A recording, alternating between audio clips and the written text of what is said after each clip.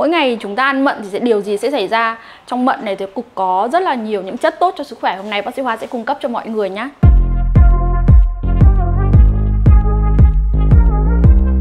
mận thì nó là một cái ờ, quả gần như là đặc hữu của Việt Nam rồi. Và trong một quả mận như thế này thì người ta thấy là nó có đầy đủ những cái thành phần chống oxy hóa cho mọi người có vitamin A, vitamin C, carotenoid. Về những cái chất chống oxy hóa này tại sao người ta lại suốt ngày nói đến chất oxy hóa làm gì? Trong cái quá trình mà mọi người ờ, ăn uống rồi cái phân giải thức ăn hàng ngày nó sẽ tạo ra những cái ờ, chất trung gian của cái chuyển hóa đấy. Nó có cái tính là cái gốc tự do nó có cái tính phá hủy tế bào. Thì bây giờ bằng một cách là chúng ta sẽ bổ sung những cái chất chống oxy hóa lại thì nó sẽ trung hòa cái gốc gốc tự do đấy tránh cho cái việc những cái gốc tự do đấy làm hại cái tế bào của mọi người. Vì những cái gốc tự do nó là căn nguyên gây ra sự lão hóa cho da này sự lão hóa cho cơ thể này gây ra những cái bệnh mạng tính hoặc là cái bệnh ung thư. Thì khi mà chúng ta trong cái chế độ ăn hàng ngày của chúng ta mà chúng ta bổ sung nhiều những cái chất mà chống oxy hóa thì cơ thể của chúng ta sẽ khỏe mạnh hơn da rẻ của chúng ta sẽ đẹp hơn nội tiết tố mọi thứ của chúng ta sẽ được cải thiện. Thì trong hàm lượng của cái mận này nó có vitamin A, vitamin E, vitamin C, carotenoid. Thì nó đầy đủ các chất chống oxy hóa như thế. Và hàm lượng vitamin C ở trong quả mận này là cực kỳ dồi dào.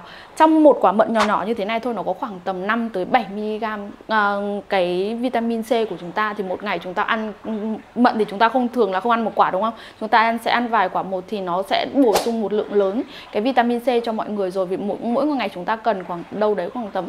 à, nếu mà muốn sáng ra ấy chúng ta sẽ cần khoảng tầm 500 mg vitamin C là có thể sáng da lên được rồi. Ngoài cái vitamin C nó giúp cho mọi người sáng da này nó còn giúp cho chúng ta tăng cái việc hấp thu và tái tạo collagen để giúp cho cái làn da của chúng ta căng căng bóng hơn. Ngoài ra thì cái collagen nó không chỉ tham gia về quá trình cho da đâu nó còn tốt cho xương khớp và tốt cho tóc hay là bất kỳ những chỗ nào đấy của chúng ta đều có collagen mà. Collagen nó giống như là những cái viên gạch để tạo nên cái khung xương của chúng ta ấy. Thì bây giờ ấy, cái nếu mà collagen nó ổn ấy thì cơ thể của chúng ta sẽ khỏe mạnh hơn chứ không phải có mỗi làn da đâu. Và vitamin C nó cũng sẽ giúp cho chúng ta hấp thu sắt được tốt hơn. Trong cái quả mận này cũng có rất nhiều chất xơ. À, tất cả những cái bệnh chuyển hóa tại hiện tại bây giờ thì nó sẽ liên quan tới cái vấn đề mà chúng ta bị thiếu chất xơ mọi người nhá chúng ta cứ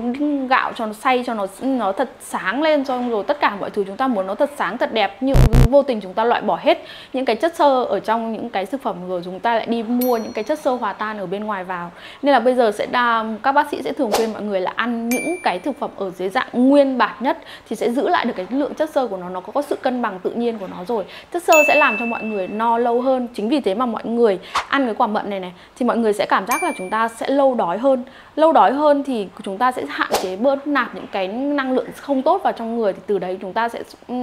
có giảm cân nhanh hơn rồi chúng ta ít gây ra những cái bệnh chuyển hóa hơn. Nên là mỗi ngày chúng ta có thể ăn được một vài quả mận và đang trong mùa mận như thế này thì mọi người cứ ăn thoải mái. Nhưng mà mận thì khuyến cáo là chúng ta thật ra thì tốt nhất là chúng ta ăn với không muối bởi vì khi mà nhưng mà mận thì thường nó, nó chua thì chúng ta thường chấm một tí xíu muối cũng được, nhưng mà chấm nhiều quá thì nó sẽ gây ra cái tình trạng mà chúng ta bị tăng huyết áp. Nhất là những cái bệnh nhân nào bị tăng huyết áp thì chúng ta không nên ăn mận chấm muối nhá. Cái lượng muối nó nhiều quá nó cũng sẽ làm cho da rẻ của chúng ta nhăn nheo hơn vì nó thiếu nước và sẽ làm cho thận của chúng ta hoạt động nhiều hơn nên là hạn chế bớt cái lượng muối đưa vào. Chứ mặc dù mận rất tốt nhưng phải ăn đúng cách mọi người nhé